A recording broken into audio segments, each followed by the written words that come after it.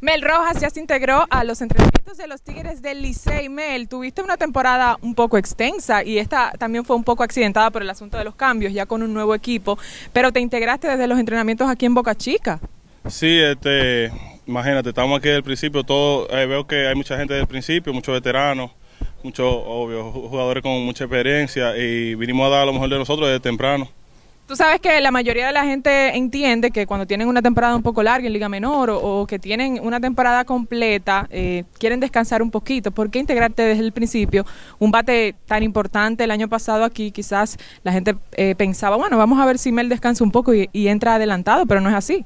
Bueno, este, yo básicamente me tomé mi descanso ya, tomé tres semanas sin hacer nada y bueno, me, me integré antes de que empezara la temporada y tratar de dar lo mejor de mí eh, temprano, ya que es posible que se integren muchos jugadores ya de grande liga más tarde y así tratar de aprovechar mi oportunidad temprano.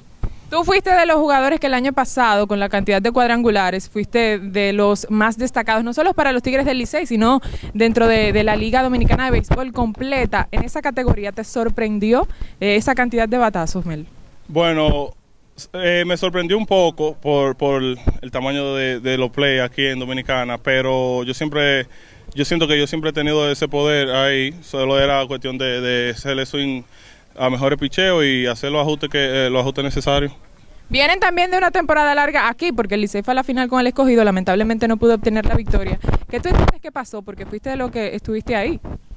Bueno, este, nosotros jugamos muy bien eh, la temporada regular e inclusive los playoffs, solo que imagínate, eso es parte de béisbol, ellos nos agarraron en una mala racha y ellos venían de una buena racha ya que ganaron un juego muy importante contra los Toros, pero como quiera no se le puede quitar el crédito, ellos son un muy, muy buen equipo y han estado en finales, en de los últimos cinco años quizás han estado tres o cuatro.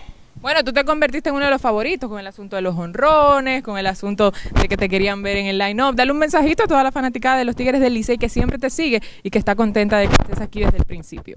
Bueno, que eh, muchas gracias por el apoyo y que vengan a apoyarnos este año, que este año sí vamos a terminar el trabajo y que es ganar el campeonato. Licey campeón. Licey campeón. Seguimos con más de Licey TV.